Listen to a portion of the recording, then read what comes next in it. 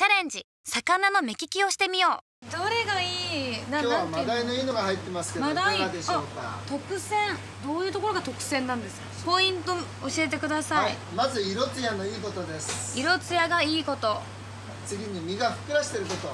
身がふっくらしていること。あと目が黒々としているところ。目が黒々しているところ。ここにある魚全部そうですね。はい。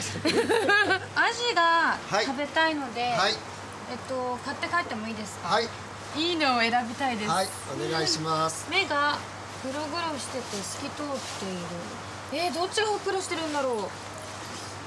冷た。いこっち。どうですか、はい、どう思います？はい油乗ってると思いますよ。いただきます。うわ。